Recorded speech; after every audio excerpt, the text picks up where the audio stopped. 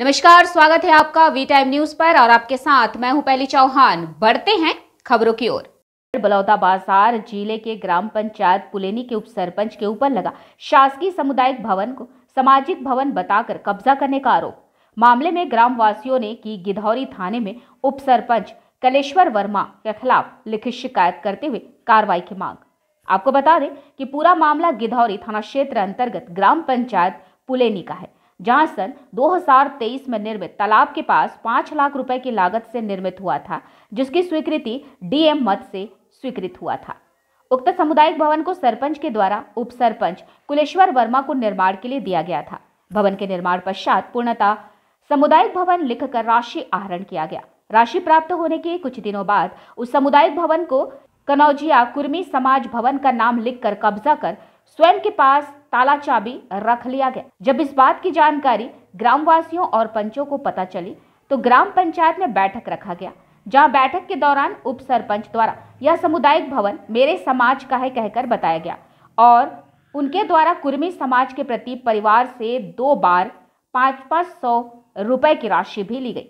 इस प्रकार उनके द्वारा एक पूरे ग्रामवासियों के समस्त समाज के सामुदायिक भवन को कुर्मी समाज हेतु कब्जा किया जा रहा है।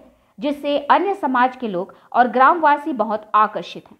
मामले में गिधौरी थाना को लिखित शिकायत करते हुए उप सरपंच के ऊपर कड़ी कार्रवाई की मांग की है। सामुदायिक भवन कब्जा है और अपना समाज का नाम लिखवाया इस मामले को लेकर थाना गिधौरी में आए हैं और थाना में आवेदन दिए हैं तो आश्वासन दिए हैं यहाँ के थाना प्रभारी लोग और हम हम लोग चाहते हैं कि उसके ऊपर कार्रवाई करें। ताकि हम लोग को गाँव वाले को इसे अच्छी तरीक़ा से रहने के लिए जगह मिल जाए वो सबके काम आए वो सामुदायिक भवन इसलिए ना आवेदन दिए यहाँ पर। किनके द्वारा कब्जा किया गया है? ये कलेश्वर वर्मा है उप सरपंच है पुलनी का। उनके द्वारा कब्जा किया गया है और अपना समाज का नाम लिखवा दे हालाँकि ये स्वीकृत हुआ था सामुदायिक भवन के लिए पूरे गाँव के लिए हुआ था ये।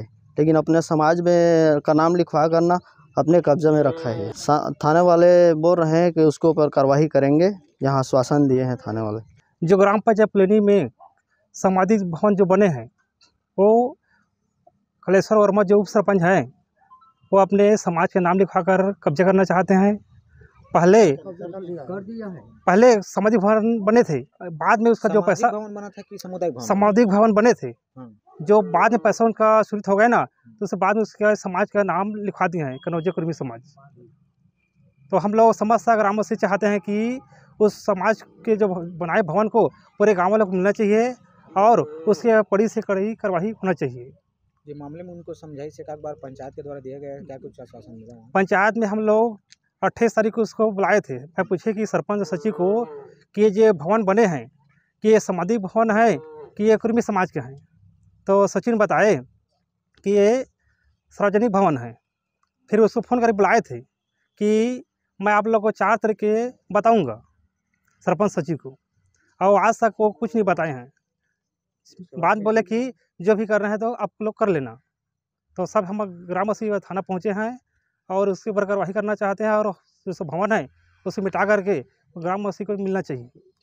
मैं हमारे जो भारत के प्रधानमंत्री सम्मानीय नरेंद्र मोदी जी और हमारे प्रदेश के यशस्वी मुख्यमंत्री विष्णु साज जी और हमारे ज़िला के कलेक्टर और हमारे ज़िला के एसडीएम और ज़िला के सीओ और बुधोई थाने के थाने प्रभारी से निवेदन है कि ऐसे जो गद्दार नेता से तत्काल कार्रवाई करते हुए उस भवन को ग्रामवासी को सौंपा जाए।